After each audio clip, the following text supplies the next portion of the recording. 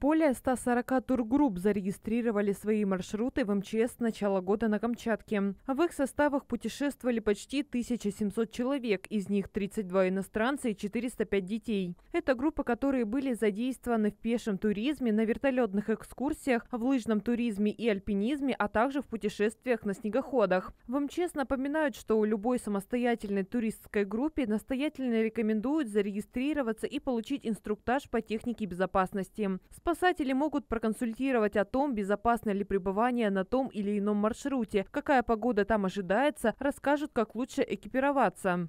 В соответствии с приказом МЧС России, туристы должны информировать Главное управление МЧС России по Камчатскому краю не позднее, чем за 10 рабочих дней до начала путешествия, похода, экскурсии, туристского слета, соревнования и иного мероприятия, связанного с активными видами туризма.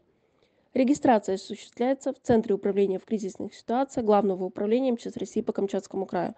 При регистрации руководителю тургруппы назначается контрольный срок, дата и время возвращения с маршрута. В свою очередь, он обязан сообщить в Центр о благополучном завершении похода. В противном случае, если в контрольный срок группа не выйдет на связь, туристы будут объявлены в розыск и начнутся поисковые мероприятия.